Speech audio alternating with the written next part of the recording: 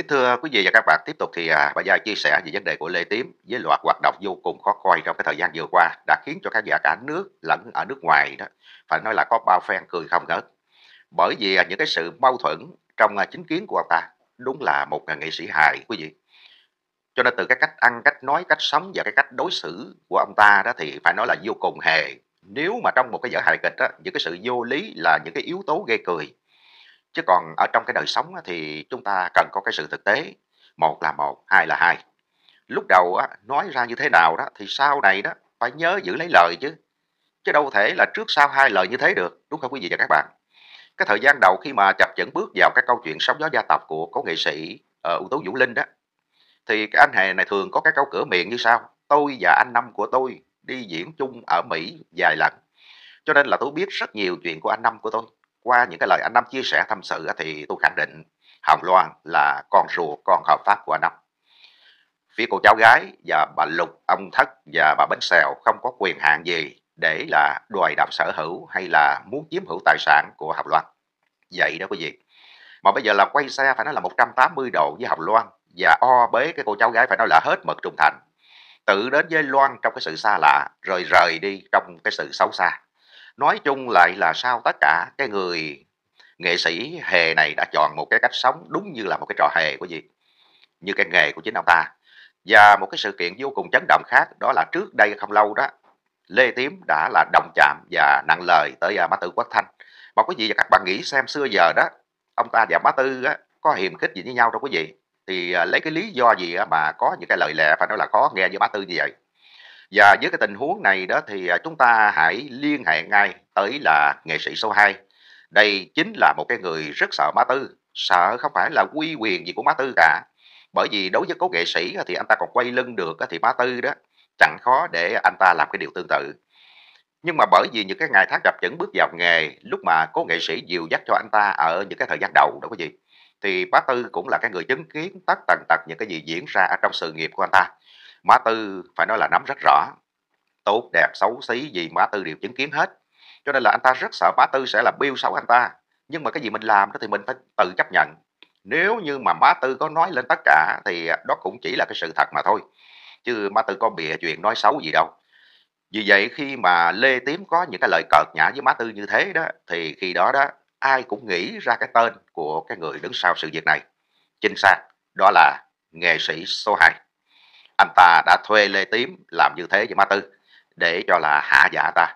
Cũng như là muốn ám chỉ với má Tư rằng đừng có mà nhiều lời. Nhưng mà tiếc rằng đó, hai người họ đâu có đủ trình quý vị để là tương tác với má Tư như thế. Thế nên, người thuê cho đến người bị thuê đó đều bị má Tư hạ cho đòi gián luôn. Và không những nói xấu má Tư không, mà hiện tại mới đây thôi quý vị. Anh Hề này còn nói ra những cái lời phải nói là vô cùng khó nghe và kiếm nhã đã ảnh hưởng đến danh dự của cố nghệ sĩ. Cụ thể thì mới đây khi mà vừa về đến Việt Nam đó thì anh Hè này đã tụ họp ngay với phía thám tử và luật sư ngũ quên kết hợp lại thành một cái bộ tam sinh mới để là gây sự với phía học luật. Và trong cái lần cao hứng tại một cái livestream mới đây đó thì à, anh Hè này đã có những cái câu nói như sau. Thứ nhất đó, ông ta nói rằng cố nghệ sĩ uh, ưu tú Vũ Linh không biết dạy con cho nên là Hồng Loan mới thế này thế kia như hiện tại. Và chính xác cái câu nói đó là phụ huynh không có ra gì nên người con cũng mà không có ra gì.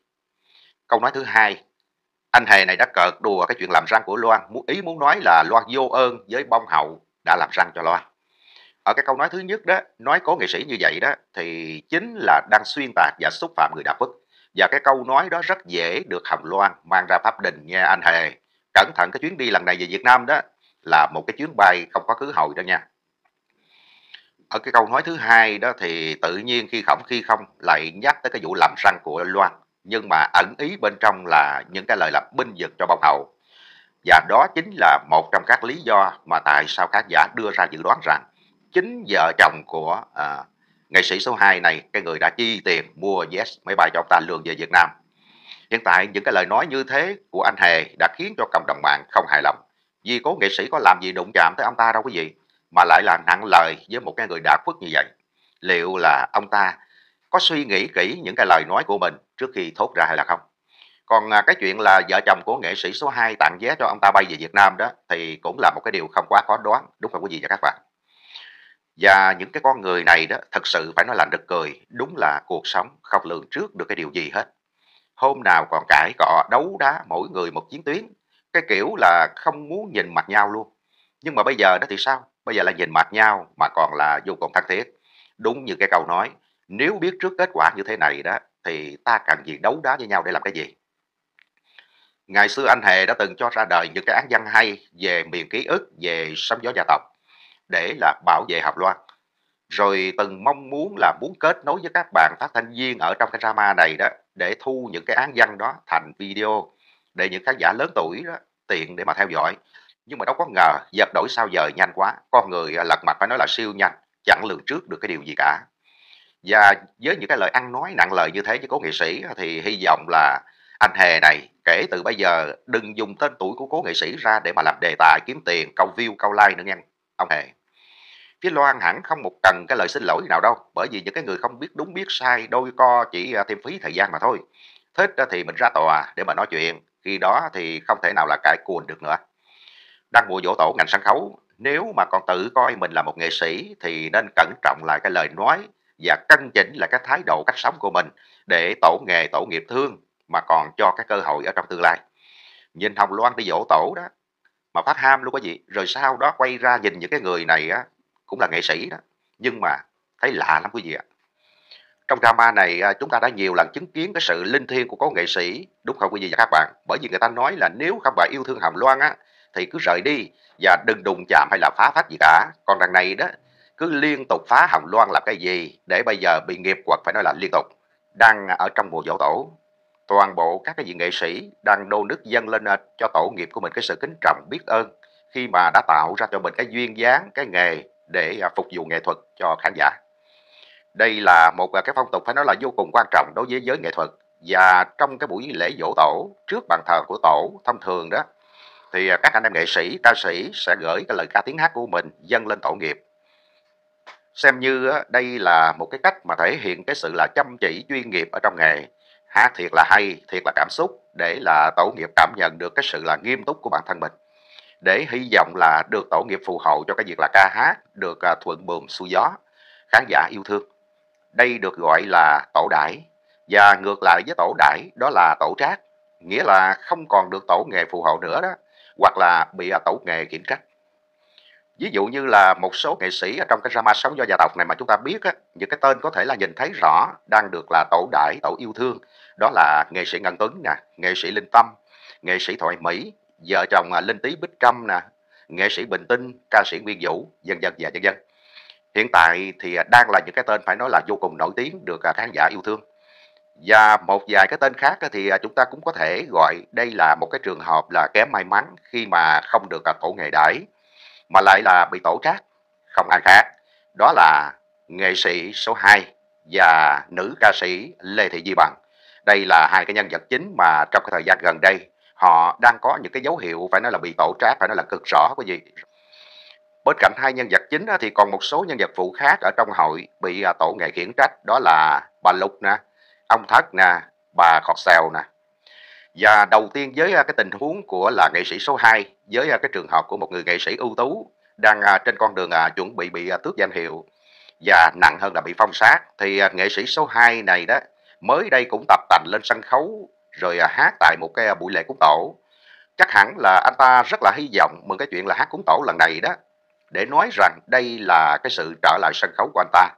Anh ta được trở lại với hào quang của một người nghệ sĩ nhưng thật bất ngờ ước mơ thì chỉ là ước mơ. Tại sân khấu cuốn tổ của một cái đoàn nghệ thuật lô tô chẳng biết là anh ta được mời tới hay là tự đi tới nữa. Nhưng mà anh ta đã được mời lên để mà hát và cái chuyện thú vị đã diễn ra quý vị, một cái sự mất mặt phải nói là vô cùng khó coi đó quý vị. Anh ta đã để lộ một sự phải nói là vô cùng kém chuyên nghiệp và vô cùng lượm thượm khi mà hát cho tổ nghe, nhưng mà lại quên lời trật nhịp. Con mắt thì láo liên đi tìm người để mà nhắc nhắc tuồng đó quý vị. Chứng kiến được cái cảnh này thì khán giả phải nói là ai cũng ngao ngán trước một cái người luôn tự nhận mình là một nghệ sĩ, sống đúng với lương tâm, đúng với nghề nghiệp. Nhưng mà cuối cùng tất cả chỉ là lừa dối. Và một số khán giả đã để lại một vài bình luận à, ở bài giày sẽ đọc như sau. Nghệ sĩ số 2 này hết thời phải đi hát lô tô. Tới gánh hát lô tô để làm cái gì? Để làm ảnh hưởng xấu đến gánh hát của người ta khách không mời mà đến cho nên mọi người đừng trách hay là đánh giá tội cho chủ đoàn nha. Mừng quá, sau bao ngày thất nghiệp thì cuối cùng đó, nghệ sĩ số 2 cũng được cầm micro ở sân khấu bong bóng. Kính thưa quý vị, cái bình luận này đó thì à, mình à, xin phép đính chính lại. Từ bong bóng mà cái vị khán giả này đã đề cập không phải là cà khịa các cái chị em ở lô tô đâu quý vị, mà là cà khịa cái người nghệ sĩ số 2 này đó quý vị. Nghệ sĩ chuyên nghiệp cũng như là nghệ sĩ số 2 mà còn quên lợi ở trên sân khấu thì huống gì là Hồng Loan, quý vị và các bạn có công nhận hay là không? Lần trước thì cho người phá Hồng Loan, giờ thì bị như vậy á, đúng là phải nói là đáng đợi. Thương tiếc cho một tài năng nghệ sĩ ưu tú lớn vì à, cái mục đích riêng của mình mà bán đứng đi anh em bạn bè cho nên mới ra cái nông nổi như thế này. Và kính thưa quý vị và các bạn, đó là cái lời bình luận cuối cùng về nghệ sĩ số 2 mà mình chia sẻ trong video này. Bởi vì đọc được những cái bình luận này à, chứng tỏ rằng ở ngoài kia nó sẽ rất rất nhiều khán giả đã biết được cái câu chuyện khó coi của là nghệ sĩ số 2 trong cái buổi dỗ tổ ngày hôm đó, cái đoàn hát của nghệ sĩ số 2 là một cái đoàn ở trong tuồng cải lương à, lương sơn bá trúc anh đài. Và cái tuồng cải lương này đó không phải là lần đầu tiên anh ta biểu diễn, nhưng nay lại có những cái dấu hiệu phải nói là thiếu sót như thế thì đủ hiểu anh ta là một cái người là thiếu chuyên nghiệp, kém chuyên môn như thế nào rồi cái gì. Nói thẳng ra đó là yếu nghề.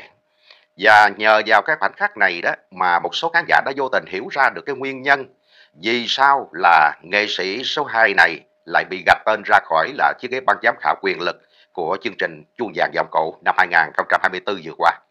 Hát như vậy mà đòi là ban giám khảo thì phải nói là cũng lạ lắm đó.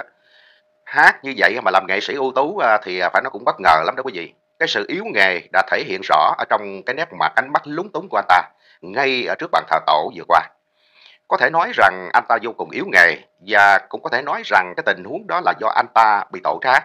Một cái lời cảnh báo nhắc nhở về đạo đức nghề nghiệp và đạo đức của một con người. Một cái người nghệ sĩ phải có. Bởi vì anh ta hiện tại đang dần mất đi những cái điều cơ bản này. Nếu như là một cái sự yếu nghề thì còn có thể là trao dồi luyện tập. Chứ nếu mà bị tổ nghề quở trách như thế đó thì chính là một cái hồi chuông cuối ngày của cái sự nghiệp ca hát rồi đó. Kính thưa quý vị và các bạn, mới đây nhất thì bác Tư Quốc Thanh có lên tiếng và gửi cái lời này đến à, nghệ sĩ số 2 nha quý vị và các bạn cũng khá lâu rồi. Bác Tư chọn cái cách im lặng chứ không lên tiếng đề cập nhiều về à, cái nghệ sĩ số 2 này nói riêng và drama này nói chung. Bác Tư lại chọn cái cách là chỉ biết là cầu trời khấn Phật thôi để à, cho Hồng Loan được là bình yên và những cái con người kia phải là trả giá về những cái sai lầm của mình. Sáng ngày hôm nay đó thì Bác Tư đã nói ra cái lời này, tổ nghiệp hiển linh lắm, không tin không được lấy nghề lại cho thấy trước mắt. Tức là Má Tư cho rằng tổ nghề đang dần dần lấy lại cái nghề mà đã cho cái nghệ sĩ số 2 này nghe quý vị. Cái này cũng đúng thôi. Không có một cái tổ nghề, tổ nghiệp nào mà lại đi phù hộ cho một cái người nghệ sĩ đến cha nuôi của mình, cái người mà đã từng cho mình cái tên ở trong nghề cũng là quên hết cái ơn đi và cái người con của cha nuôi mình á thì cũng nhẫn tâm mà trà đạp thì bây giờ đúng là không còn một cái từ ngữ nào và không còn một cái lý do nào để mà bao biện cho nghệ sĩ số 2 này cái chuyện mà anh ta bị quỷ xô liên tục như vậy và đến là cúng tổ nghề lại quên lời trạch nghiệp thì đây đúng là phải nói là tổ nghề đang có những cái dấu hiệu là muốn lấy lại cái nghề mà cho nghệ sĩ số 2 này mấy chục năm qua, nghe quý vị và các bạn. Bây giờ anh ta có làm gì đi chăng nữa, hoặc là nói cái gì đi chăng nữa thì mình tin rằng là khán giả cũng quá hiểu cái con người này rồi. Một người anh nhưng mà tiểu nhân và hai mặt đâm thọc sau lưng như vậy, không xứng đáng được tôn trọng và cũng không xứng đáng được là tổ nghề phụ hồ che chở và kính thưa quý vị, bên cạnh nghệ sĩ số 2 thì cái cô cháu gái cũng có một cái màn ê chề không kém cạnh khi bị khán giả quay lưng một cách thẳng thừng tại một cái đêm nhạc từ thiện ở vị Thanh Hậu Giang vừa qua. Theo chia sẻ từ các hội nhóm bàn luận drama này thì đã có thông tin rằng một cái đêm nhạc phát quà trung thu cho các em ở vị Thành Hậu Giang.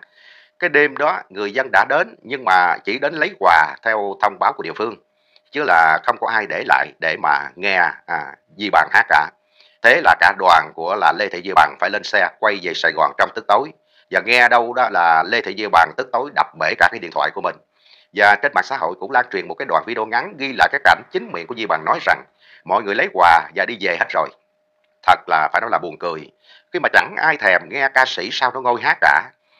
Và vì sao lại có tình huống này của gì? Thì à, mình nghĩ rằng hôm đó thì à, theo chỉ đạo thì à, đây chỉ là một cái buổi phát quà trung thu cho các em nhỏ mà thôi còn cái chuyện ca nhạc hội Gia cuối hè này đó là do phía là Gia tự làm màu, muốn khè với thiên hạ, nhưng mà xui, định là qua mặt quan nhưng mà cuối cùng non nghề không qua mặt được, mà còn phải là mất mặt phải nói là vô cùng. Tự làm poster đồ, rồi à, mời ca sĩ này, ca sĩ nọ đồ ha. Rồi thì sao quý vị? Rồi thì phải nói là ê chề đi về chứ sao?